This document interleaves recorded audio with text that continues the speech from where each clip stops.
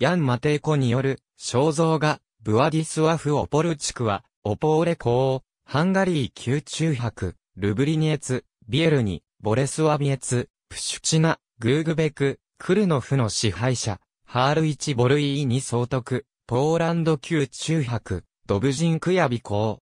オポーレ公ボルコ2世の長男で、母は、シフィドニツァ公、ベルナルトの娘エルジュビエタ。ブワディスワフの幼年期については、よくわかっていない。若き公子は、政治経験を積むために、1353年頃に、ハンガリーへ赴き、1356年に、父が死ぬまで同国で過ごした。父が死ぬと二人の弟ボルコ三世、ヘンリクと共に、オポーレ公国の共同統治者となったが、気の強いブワディスワフはすぐに統治権を独占するようになり、弟たちには小規模な分量を与えて追い出した。ただし、二人はこれ以後も、名目上は、オポーレの共同統治者であり続けた。ブワディスワフの政治的キャリアは1360年代半ば、ハンガリー王ラヨシュ一世の宮廷において始まった。ブワディスワフは、すでに1364年、ハンガリー代表の一員として、クラクフ会議に出席している。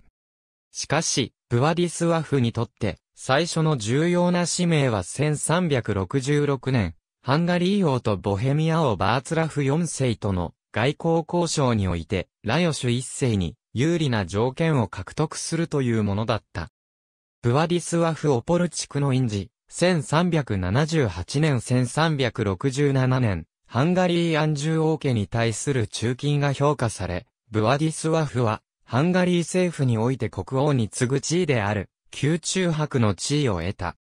宮中博は、第一義的には広範な司法権を握っており、ハンガリー王以外に、同国の司法権を持つ、唯一の役職であった。宮中博として、ブワディスワフは、かなりの献身ぶりと統治能力を示した。彼は、コングレゲーシオ・ジェノラリスと呼ばれる、宮中の所持を司る4つの委員会を創設した。この役職は、ブワディスワフに莫大な収入をもたらしたが、同時に、かなりの出費も余儀なくされた。宮中伯職にあるマモ・ブワディスワフは、ハンガリーの外交政策に関わり、1368年には、ブルガリアに赴くなどしている。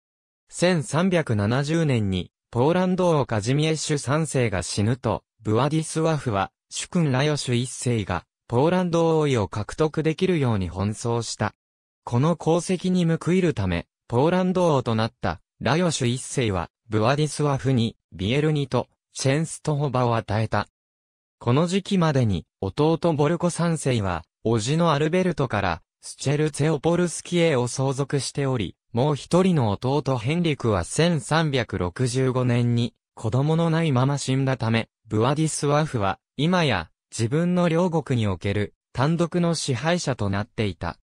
1371年、ブワディスワーフは、ボヘミア王国に対する軍事遠征を指揮した。しかしこの遠征が原因で、ボヘミア王を兼ねる神聖ローマ皇帝カール4世は、外交交渉の中で、ラヨシュ1世にブワディスワフの宮中泊解任を要求。ラヨシュ1世は、翌1372年に、ブワディスワフを解任せざるを得なくなった。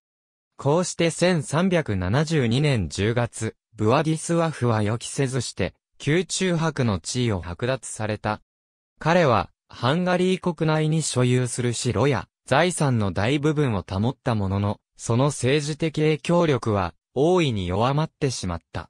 この保証として、ブワディスワフには、ハールイチ・ボルイーに総督の地位が与えられた。この新しい役職においてもブワディスワフは、有能さを発揮し、任された地域の経済的発展にかなり貢献した。彼は主に、ルブフに住んでいたが、任期の最後には、ハールイチで過ごすことが多かった。在任中に起きた紛争は、総督であるブアディスワフが、東方正教会に接近したことで生じた。総督のこの行動は、大貴族たちの中の熱心なカトリック教徒をひどく、憤慨させたのである。ブワディスワフ・オポルチクの印字、1379年娘のポーランド王位継承を安全にする目的から、ラヨシュ一世は1374年、ポーランド貴族たちに個室の特許状を与えたが、これはおそらくブワディスワフの進言によるものだったと考えられている。1378年、王母、エルジュビエタが、ポーランドの摂政を退いて、ハンガリーに帰国すると、ラヨシュ一世は、ブワディスワフを、ハール一総督職から空席だったポーランド、宮中伯職に転任させた。しかし、ブワディスワフは就任後、すぐに自分の娘を王位の相続人に指名したラヨシュ一世に不満を持つ貴族の犯行に直面した。ポーランド貴族たちは、ラヨシュ一世の後継者指名を受け入れる代わりに、ブワディスワフのポーランド宮中伯職辞任を要求し、ブワディスワフはまたも、解任の浮き目にあった。そこで、ブワディスワフは、ハンガリー人の大官に代わり、ドブジン地方の諸都市、クヤビ、ブイドゴシュチュ、イノブロツワフ、グニエフコボなどの支配を任された。これらの地域はドイツ騎士団国家と国境を接しており、ブワディスワフはすぐに騎士団国家との友好関係を築いた。ブワディスワフは騎士団の騎士たちにドブジン地方において犯罪者を処刑する権利も認めている。ブワディスワフはクヤビにおける財政問題をめぐってプーツク司教ドビエスワフスフカと係争を起こした。スフカはブワディスワフを破門したが、この波紋はその次の年に、グニエズの広司教によって取り消されている。教会との関係を良好なものにするため、ブワディスワフは、チェンストホバの安名倉に、修道院を寄進した。また、ブワディスワフは、同修道院に、有名な、チェンストホバの黒い聖母を安置したと言われる。黒い聖母ははるばるエルサレムから、コンスタンティノープル、ベルズ経由で1382年の4月、チェンストホバに到着した。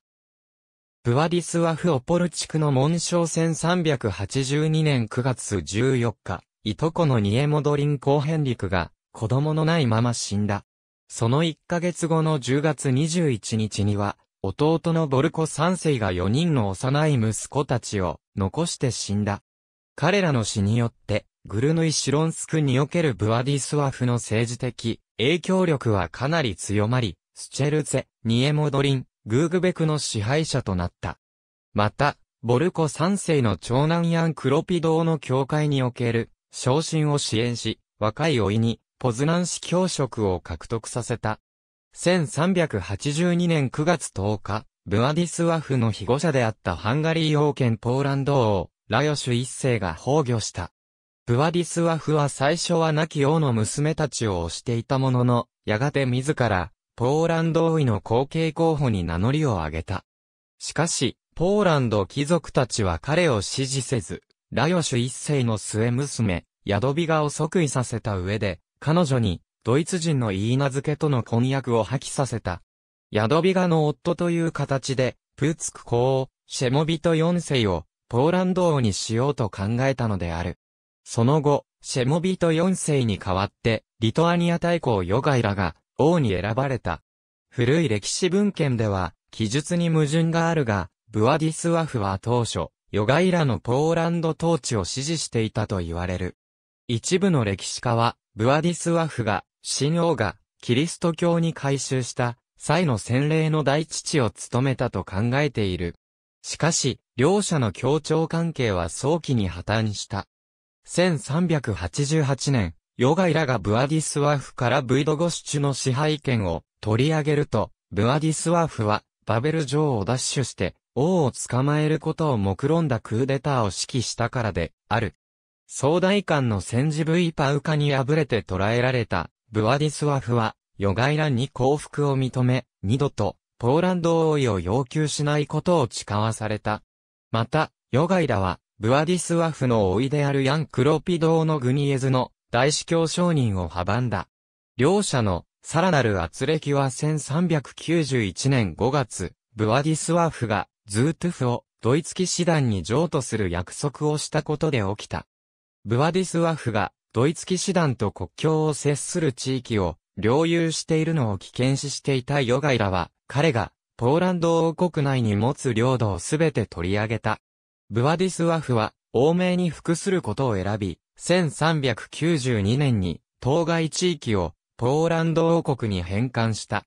ただし、ブワディスワフへの忠誠心が、極めて強いボレスワビエツは、例外で、同志だけは、彼の死後に、ポーランド王国に再併合されることになった。オポーレ広告で発行された、貨幣、1389年ブワディスワフは、ドイツ騎士団総長コンラート・フォン・バレンローデを説得し、ポーランド、ハンガリー、ボヘミアに駐在していた騎士団員たちを結集させて、ポーランド王国を攻撃するよう仕向けようとしたが、この紛争は不守備に終わった。戦争は当初ドイツ騎士団側に有利に始まった。しかし、ポーランド王国軍が1396年、騎士団を裏で操っているブワディスワフを罰するため、シロンスクへの攻撃を決めて、スチェルツェを占領すると、同年8月6日には、ブワディスワフの老いたちもポーランド軍と和平を結んで、孤立した。これ以降、オポーレ公国の統治は事実上老いたちに委ねられ、ブワディスワフは引退を余儀なくされた。自分の野望が破滅的な失敗に終わったことに深い失望を味わいながら、ブアディスワフは1401年5月18日に、オポーレで死去し、同市にある、フランシスコ会の修道院に葬られた。息子がなかったため、医療は、老いのボルコ4世とベルナルトが相続した。ただし、グーグベクに関しては、未亡人、エウフェミアが家不良として手に入れた。1355年頃、ブアディスワーフは、ハンガリー滞在中に、エルジェーベトという女性と最初の結婚をした。彼女は一部の資料では、トランシルバニア総督ラクフィチュ・アンドラーシュの娘だったと言われ、別の資料では、ワラキア総督ニコライ・アレクサンドル・バッサラバの娘、ともされている。夫妻は三人の娘を設けた。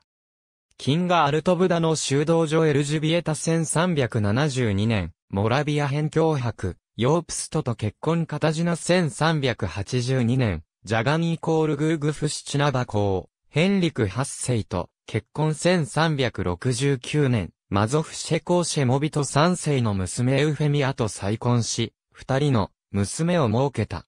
ヤドビが1390年1月25日以前、ケルナベコ、ビーガンタスと結婚エウフェミア。ありがとうございます。